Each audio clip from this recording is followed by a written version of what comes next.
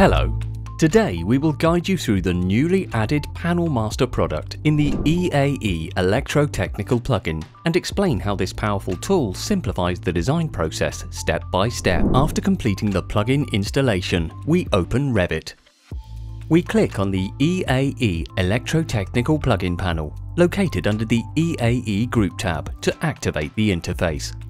Now all features are ready to use. To design the Panel Master product, we click the button and the necessary form to start the design appears.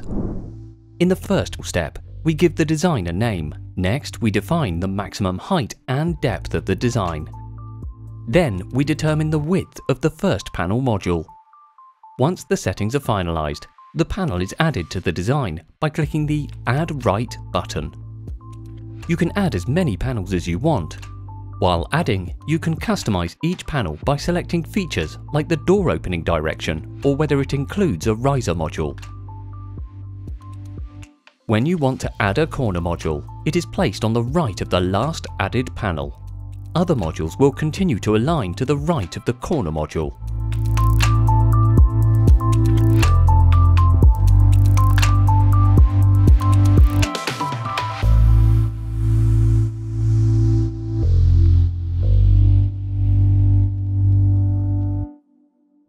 If you are using the Busbar plugin and don't have the Electrotechnical plugin installed, you can download the latest setup file by clicking the Panel Master button within the Power Supply section of the Busbar plugin. If both plugins are installed, clicking the Panel Master button from the Busbar plugin will automatically open the Electrotechnical plugin interface, allowing you to easily use the selected panel modules in your Revit project.